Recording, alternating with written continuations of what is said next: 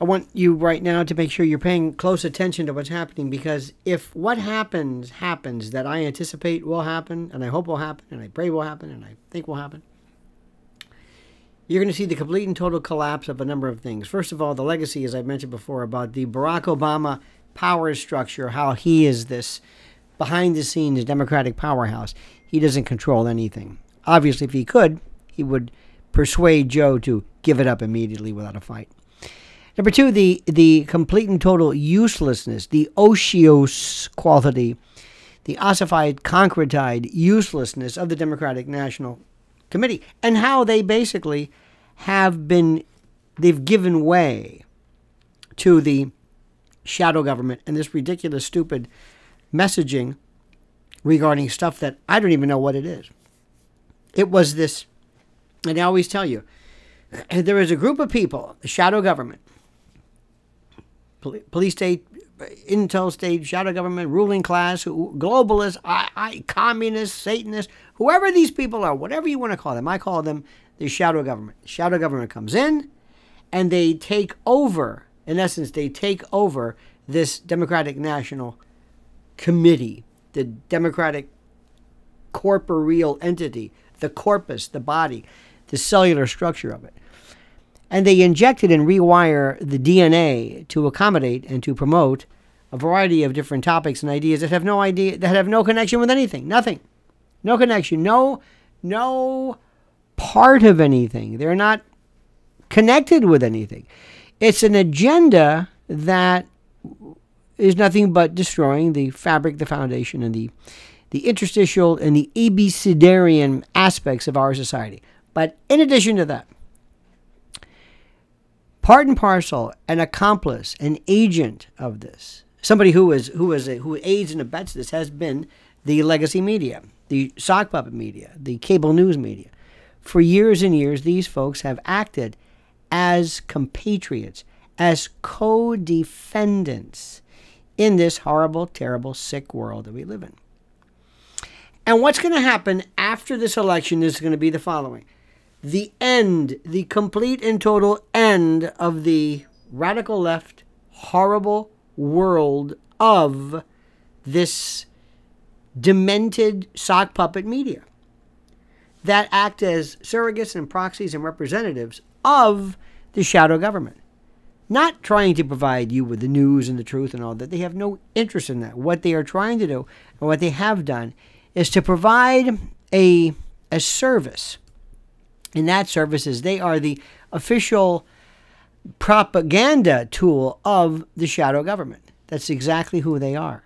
And when you tell people that at first, it sounds it, it sounds pretty far fetched to the untrained ear, because people believe that, you know, the media are there to help.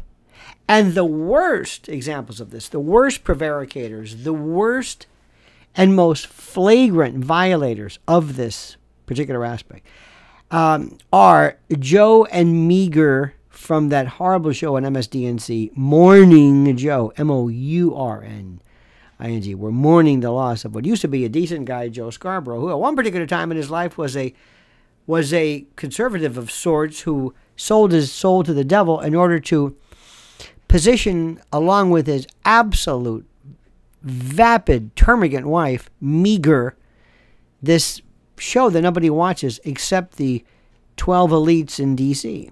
and others who watch it who think it's somehow a, a, a valid version and reflection of what America thinks. To make a long story short, my dear friend, I explain to you as follows this, and this is very critical for you to understand. There is a a change that is happening, and I've been saying this for a long time.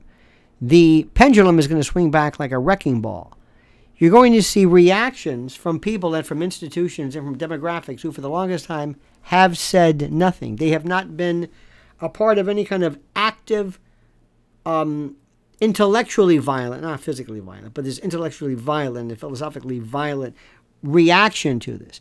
But you're going to be seeing it right now. People who are rejecting, people who are just throwing away, people who are absolutely positively, without a doubt, rejecting outright any and all aspects of our world in which they, these people, find themselves now realizing that one of the biggest proponents of this fraud, and don't ask me why people had to wait till June the 27th to realize that Joe Biden was brain damaged, but better late than never. But the people who were part and parcel of this fraud, the people who are responsible for conducting, promoting, promulgating, and advancing these lies, this, this coordinated, uh, synchronized mendacity, were and are the legacy media, the sock puppet media, the mainstream media, the cable news media. They will forever, forever be affected, tainted, contaminated, and scarred by this. And for the forever, they will always be thought of as follows. Whenever there's a race, whenever there's any kind of particular theory that is advanced, they will say, oh, you mean just like Joe Biden wasn't sick? Oh. You mean like Joe Biden wasn't crazy? Oh. You mean like like Joe Biden was sharp as a tack? You mean like that? Is that what you mean? Is that what you're suggesting? Oh, you mean like that? They will never be able to live this down. They will never be able to live this down. I promise you.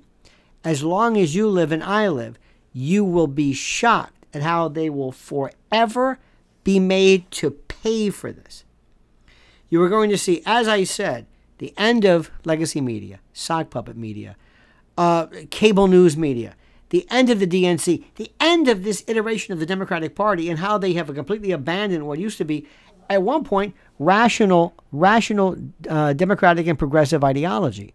And also, you're going to see the end of this myth, this fantasy that somehow Barack Obama's in charge or anything.